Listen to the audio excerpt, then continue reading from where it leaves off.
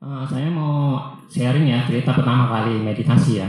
Waktu itu sebelum kenal Bante Gunasiri, saya itu di tempat meditasi lain gitu. nah di situ tuh waktu itu karena mungkin karena caranya nggak cocok atau saya yang bodoh gitu ya, itu saya tuh stres bukannya senang gitu. Harus saya pikirkan uh, kalau misalnya meditasi kan maunya bahagia ya. Uh, pokoknya yang enak-enak lah gitu ya. Uh, pencerahan lah apa gitu ya tapi yang yang didapat tuh kebalikan. Mau duduk satu jam, nggak ada satu jam lah, 15 menit. Terus udah gitu berdiri, uh, apalagi sono uh, berdiri itu jarang ya soal saya. Terus akhirnya yang saya bisa lakuin yaitu berjalan. Nah jadi selama pagi sampai sore itu jalan terus gitu ya. Sampai tuh kaki pegel pun saya tetap jalan karena kan emang kecuali lagi istirahat uh, tidur atau apa ya. Nah di situ tuh uh, saya pikir kalau saya misalnya uh, berhenti, berarti kan orang lain kan ngelihat wah kurang bersemangat nih. Kalau kurang bersemangat kan orang-orang otomatis jadi down ya. Nah jadi walaupun saya nggak bisa, uh, saya berpikir supaya orang lain itu uh, lebih sukses gitu ya. jadi saya pengennya terus semangat uh, jalan walaupun saya pegel gitu. Nah terus sudah gitu waktu saya maaf ya waktu lagi di WC gitu ya itu saya eh, nggak uh, ingat bisa ingat itu uh, muka anak istri itu saya lupa. Iya. Jadi uh, tapi saya tahu saya punya anak sama istri gitu. tapi wajahnya itu lupa gitu. Nah, saya uh, setelah disingkat ya, setelah udahan retret kan saya boleh megang handphone, terus saya telepon istri saya gitu. Ini uh, anak mukanya gimana ya? Terus kata istri saya, itu di handphone ada fotonya. Ya. Terus pas saat buka fotonya kayaknya kok beda gitu ya. Karena kan uh, foto sama asli kan kayaknya beda gitu. Nah singkat kata saya kan pulang ke rumah. Pada saat pulang ke rumah itu uh, di depan pagar gitu ya. Depan pagar itu keluar tuh anak istri gitu ya. Langsung tuh memori-memori saya langsung oh ini ya? Oh kemelekatan tuh ternyata bukan dari bentuknya gitu.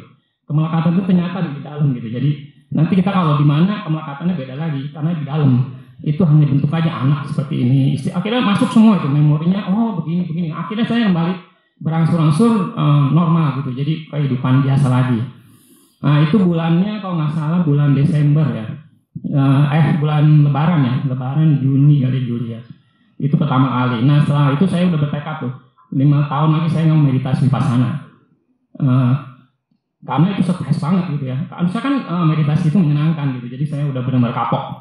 Nah terus akhirnya ketemu Bante di CPD ya pertama kali ya. Uh, setelah ketemu Bante terus akhirnya biasa Bante itu kalau ada orang yogi itu kalau ada orang ya biasanya Bante itu uh, ujuk-ujuk ayo meditasi ayo meditasi gitu ayo jangan malas ya malas akhirnya Desember Desember saya uh, apa ikut retret pertama kali Nah itu kereta pertama kali itu pengalaman saya 180 derajat itu berubah banget beda. Yang tadinya nggak menyenangkan bagi saya tuh sakit itu enak gitu. Walaupun belum tuntas banget ya. Pokoknya ada pengalaman-pengalaman baru gitu ya. Nah itu sudah gitu di saat ikut uh, retret ini yang pertama uh, baru-baru ya saya nggak tahu yang keberapa itu punggung saya tuh sakit pegel sama belakang ya leher uh, jadi kalau misalnya orang lihat saya lagi makan, itu ngunyahnya lama, itu bukan gara-gara saya main full. Itu itu karena itu sakit banget itu.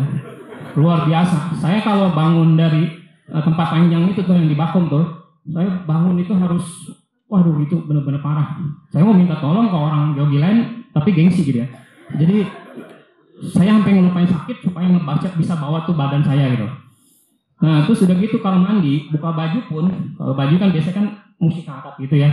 Nah itu butuh waktu 5 menit untuk membukanya itu pelan banget. Sakitnya luar biasa. Harus melupain sakit dulu, baru bisa uh, kebuka gitu. Kita punya tenaga ngilangin apa, ngalihin ya, ngalihin sakitnya. Nah jadi uh, menurut saya tuh sakit yang yang sakit ini waktu saya di retret itu itu nggak langsung hilang. Jadi jangan bersedih ya kalau misalnya kita tuh sakit, kok nggak hilang kita pulang retret, jangan sedih. Nanti uh, kalau kita continue di retret selanjutnya itu bisa berkurang berkurang. Nah sekarang ada ada ada apa? Ada teman-teman yogi gitu ya. kadang-kadang nanya ke saya kok meditasinya diem aja ya terus nggak apa ngapain gitu jujur aja saya sebenarnya sih nggak sakit tapi untuk yang retret kali ini retret ini saya sakitnya di sebelah kiri itu ada baal doang sini nah itu kata Bante sih apa pola makan mungkin ya bahan pengawet atau gimana itu menyebabkan itu tapi setelah baalnya hilang itu ternyata ada urat-urat juga sih yang yang mampet gitu situ. Nah jadi sebenarnya sih uh, apa pengalaman meditasi yang ini sih saya uh, retret ini ngamatin sakit sih banyak kan jadi beda sama yang lalu-lalu saya banyak pengalaman-pengalaman menariknya gitu. Kalau ini hanya fokus ke sakit-sakit aja gitu kan. Nah terus biasanya kalau saya meditasi itu favorit saya tuh cuma tahapan satu sama tahap dua. Nah di situ aja saya udah udah enak gitu. Terus kata Bante sih nanti kamu nanti butuh juga tahap lima gitu. Nah kemarin waktu retret hari eh, yang yang, kemarin ya saya meditasi berdiri itu hari Jumat kalau saya itu mungkin ada gema-gema mau pulang atau gimana ya padahal saya nggak bikin pulang. Tapi ada kilesa halus kali mungkin yang masuk nah, akhirnya begitu nah, padahal saya nggak nggak biasa aja mau pulang-pulang enggak enggak gitu. Nah terus sudah gitu saya akhirnya uh, pencatatan saya cepat berdiri sentuh berdiri sentuh kiri kanan dan situ berkurang tapi akhirnya setelah berapa lama saya mikir ibaratnya kan udah ngajarin tahap lima gitu jadi kebetulan ya di saya kan uh, di Pabuaran Residen tuh suka ada yogi baru buka video. Nah di situ saya sebenarnya tahap lima jujur aja sampai uh, ya baru belakangan ini aja saya baru baru hafal. Jadi sebenarnya yang lain saya nggak nggak hafal cuma tahap satu tahap dua doang.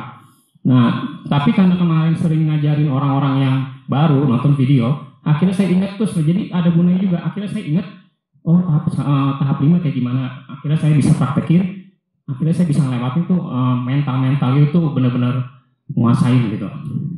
Ya paling itu sharing saya seperti itu ya. Jadi kalau misalnya kita uh, sakit atau apa sabarin aja, pasti semuanya bisa. Nah, terus sudah gitu ya pasti sih harus konsisten karena tiap tahun kan ada retret dua kali. Jadi harusnya jangan sampai kita bolong gitu. Kecuali benar-benar mendesak gitu ya. Nah gitu aja sih sharing dari saya. Terima kasih nama udah ya.